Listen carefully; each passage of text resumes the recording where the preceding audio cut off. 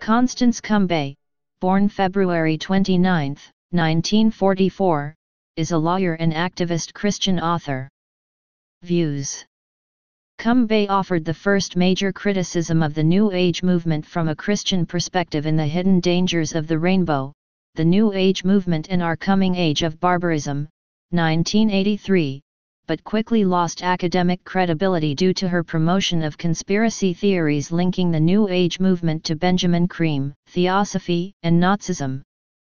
Scholar of New Age religion James R. Lewis describes this book as containing a few few insightful criticisms with many accusations of the least responsible sort, and that she is simply lumping together anything that departs from a rather strict interpretation of Christianity.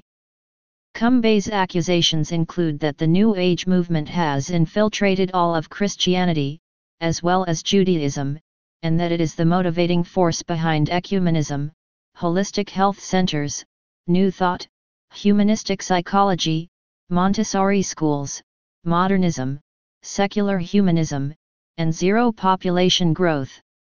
She states that Unitarian churches and health food stores become New Age recruiting centers, that the Guardian Angels become one of the New Age movement's paramilitary organizations and that the New Age movement has complete identity with the programs of Hitler.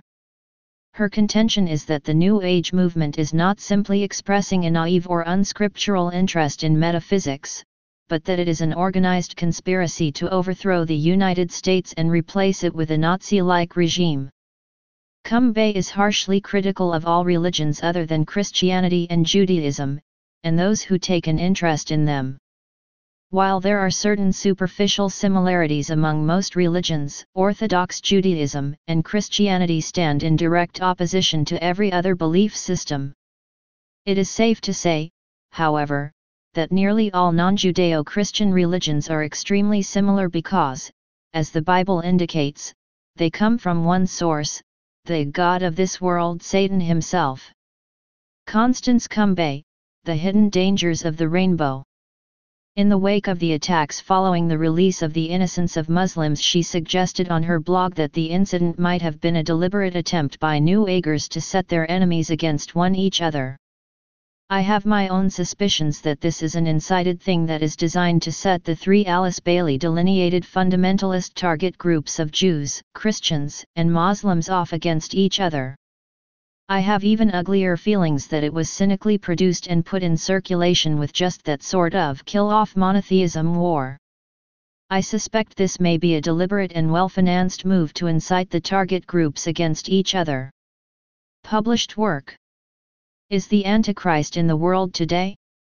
An interview with Constance Cumbey Oklahoma City, Southwest Radio Church 1982. The New Age Movement, Age of Aquarius, Age of Antichrist. Emil Gaverluk, and N.W. Hutchings, Oklahoma City, Southwest Radio Church 1982. The Hidden Dangers of the Rainbow, The New Age Movement in Our Coming Age of Barbarism Shreveport, L.A., Huntington House, 1983.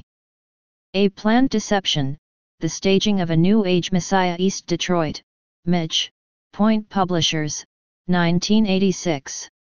Please subscribe and thanks for watching.